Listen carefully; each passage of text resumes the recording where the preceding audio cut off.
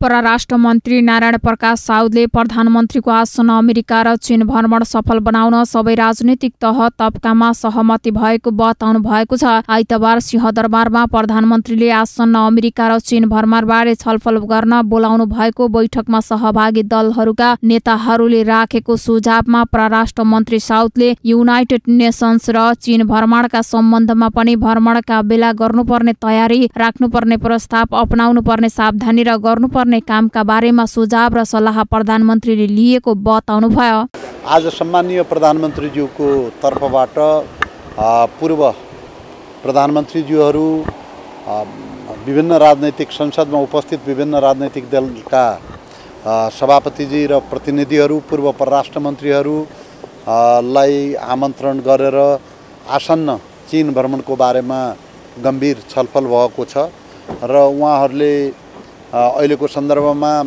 United नेसन्समा या चिन भ्रमणका सम्बन्धमा पनि भ्रमणको बेला गर्नुपर्ने आवश्यक तयारी राख्नुपर्ने प्रस्ताव अप्नाउनु पर्ने सावधानी र गर्नुपर्ने कामका बारेमा महत्त्वपूर्ण सुझाव र सल्लाह दिनुभएको छ। त्यसका लागि प्रधानमन्त्रीज्यूले आफ्नो सम्बोधनमा आमन्त्रित सबै व्यक्तित्वहरूलाई धन्यवाद दिनुभएको नेकपा एमालेका उपमहासचिव प्रदीप गेवालीले कोशी प्रदेश सरकार गठनका लागि काङ्ग्रेससँग छलफल भइरहेको बताउनु भएको छ उहाँले प्रदेशप्रतिको वितृष्णा बढेर जाने र नयाँ चुनावमा जानुपर्ने स्थिति अहिले नै आउँदा देशको अर्थतन्त्रमा समस्या पर्ने भन्दै काङ्ग्रेसले समाधानको बाटोमा जानुपर्ने बताउनु भयो उहाँले देशको हित र संविधानको रक्षा काङ्ग्रेसले जिम्मेवारीपूर्ण रूपमा खेल्नुपर्ने बताउनु भयो यहाँ जुन ढङ्गको शक्ति सन्तुलनको अवस्था छ। निषेध गरेर जाने खालको बाटोमा नजाउँ। उहाँहरूले निषेध गर्न कोसिस गर्नुभयो त्यसका लागि संविधान मिच्ने कामहरू भए त्यसको परिणाम आज हामीले भोगिरहेका छौँ। अब पनि त्यही बाटोमा जाने हो भने या त प्रदेशप्रतिको वितृष्णा एकदमै बढेर जान्छ या त त्यसको समाधानका निम्ति नयाँ चुनावमा जानुपर्ने स्थिति हुन्छ जुन दुवै कुरा अहिले हाम्रो प्राथमिकतामा छैनन्। मध्यावधिमा जाने पनि हाम्रो रुचि छैन र प्रदेश प्रति नै वितृष्णा बढोस् भन्ने पनि हामी चाहँदैनौँ। त्यसो भएको हुनाले चाहिँ नेपाली काङ्ग्रेसले एउटा जिम्मेवार भूमिका खेलोस् भन्ने हाम्रो उपमहासचिव गेवालीले प्रधानमन्त्रीले आसन्न चीन भ्रमणको विषयलाई लिएर सुझावहरू माग्नु भएको र आफूले चीनसँग विश्वास बटुलेर आउन सुझाव दिएको बताउनु भयो उहाँले नेपाल र चीन सम्बन्ध सन्तुलित छिमेको सम्बन्धको बाटोबाट अन्यन्त्र लागेको हो कि भन्ने शङ्का चिनियाहरूले गरिरहेको बताउँदै त्यसलाई प्रधानमन्त्रीले चिर्नु पर्ने बताउनु भयो पछिल्लो समय जुन ढङ्गको अलिकति विश्वासको सङ्कट जस्तो देखिएको छ नेपाल चिन सम्बन्धमा।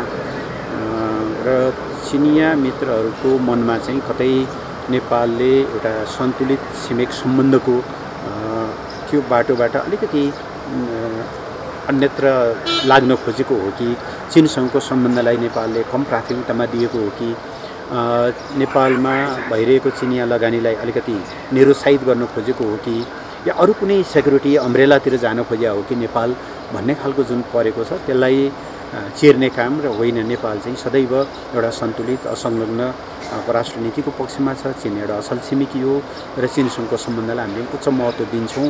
त्यस्तो होइन भन्ने कुरामा विश्वास दिलाउने कुरामा चाहिँ बढी फोकस गर्नको निम्ति हामीले आग्रह मैले आग्रह गरेको छु। राष्ट्रिय स्वतन्त्र पार्टीले प्रधानमन्त्रीको चीन भ्रमणमा नेपाली नागरिकले थाहा पाउने गरी नेपालको नक्साबारे धारणा राख्न सुझाव दिएको छ। उहाँले आफ्नो पार्टीले प्रधानमन्त्रीको अमेरिका र चीन भ्रमणमा सात बुद्धा लिखित सुझाव दिएको पनि बताउनु भयो बैठकमा पार्टीको तर्फबाट चीनसँगका नाका खुलाउने बारेमा जोड दिन आग्रह गरेको बताउनु भयो प्रधानमन्त्रीज्यूको अहिलेको युएन सहितको चीन भ्रमणको विषय थियो।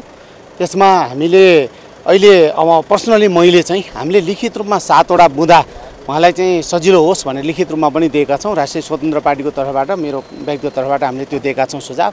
र अर्को चाहिँ अहिले भर्खरै जनताको लेभलमा आएको नक्साको विषय पनि हामीले चासको साथ उहाँलाई जानकारी गराएका छौँ। यो चाहिँ जनताले थाहा पाउने लेभलमा तपाईँले चाहिँ यसको बारेमा आफ्ना धारणा आफ्नो देशको धारणा चाहिँ भन्नु पऱ्यो उहाँहरूसँग कुरा राख्नु पऱ्यो जुन कुरा चाहिँ जनताको लेभलमा थाहा हुनु पऱ्यो भने हामीले भनेका छौँ। अर्को जुन खुला यो बोर्डरहरूको खुला गर्ने विषयमा बोर्डरहरू जति पनि सिमानाहरू छ यो विषयमा पनि ध्यान दिनु होला भनेका छौँ। र अर्को महत्त्वपूर्ण विषय चाहिँ मित्र राष्ट्र भारतको भ्रमणको बेलामा अनुशासनका कुराहरू र ठुलो जम्बो चाहिँ टिम गयो भन्ने विषय थियो। त्यो विषयमा पनि सचेत हुनुपर्छ भनेर सल्लाह दिएको छु। जनमत पार्टीका अध्यक्ष डाक्टर चन्द्रकान्त राउतले प्रधानमन्त्रीले बोलाउनु भएको बैठकमा आफूले गरिबी निवारणमा चीनले पाएको सफलताबाट नेपालले गरिबी मुक्त देश बनाउनु पर्ने बारेमा चीनको अनुभव लिन सुझाव दिएको बताउनु भएको छ। हाम्रो पार्टीको तर्फबाट सुझाव चाहिँ मूल रूपमा गरिबी निवारणमा चिनले ठुलो सफलता हासिल गरेको हुनाले त्यसको अनुभवको आधारमा नेपालले कसरी गरिबीबाट मुक्ति दिलाउन सकिन्छ त्यसको लागि चाहिँ कसरी सहकार्य गर्न सकिन्छ त्यो एउटा सुझाव रह्यो। अर्को चाहिँ अब म्यानुफ्याक्चरिङ सेक्टरमा पनि चिन धेरै अगाडि भएको हुनाले एसेम्ब्ली लाइन्सहरू होइन अहिले त अब जस्तै हुन्छ नि एउटा उदाहरणको लागि इलेक्ट्रोनिक्स भयो एप्पलका उद्योगहरू सबै चिनमै खुलेका हुनाले त्यही मोडेलमा चाहिँ चिनले चाहिँ नेपालमा उद्योगहरू खोल्ने एसेम्ब्ली लाइनहरू खोल्ने स्पेसल इकोनोमिक जोनहरू बनाएर नै अनि धेरै कुरा जस्तै टेक्सटाइलहरू भयो त्यस्तो एसेम्ब्ली लाइनहरू पनि भयो। त्यसको चाहिँ प्रोडक्ट चाहिँ फेरि चिनले नै आफू आफू मार्फत चाहिँ निर्यात गरेर अनि त्यो मोडेलमा बढाउन हामीले आग्रह गरेका छौँ ताकि यहाँ चाहिँ रोजगारी लोकल रूपमा रोजगारी चाहिँ सृजना होस्। परराष्ट्रविद रमेशनाथ पाण्डेले दुवै छिमेकी देशले नेपालसँग विश्वास गुमाउँदै गएको बताउनु भएको छ। उहाँले दुवै देशले नेपाल प्रति विश्वास गर्न छोडिरहेको भन्दै प्रधानमन्त्री दाहालले दुवै देशको विश्वास बटुल्ने काम गर्नुपर्ने बताउनु भयो आजको मुख्य फोकस भएको कुरा के हो भने नेपालको भारत र चिन दुवै देशसँगको सम्बन्धमा विश्वासको सञ्चिति निरन्तर घट्दै गएको छ। दुवै हाम्रा छिमेकीहरूले नेपालमा उनीहरूको जो जिनियन इन्ट्रेस्ट छ त्यो इन्ट्रेस्ट सुरक्षित छैन भन्ने अनुभूति उनीहरूले गरेका छन्। त्यसलाई उनीहरूले कुटनैतिक स्तरबाट स्पष्ट गर्दा गर्दै अब सार्वजनिक रूपमा व्यक्त गर्न थालेका छन्। उनका व्यवहारबाट त्यो देखिन थालेको छ।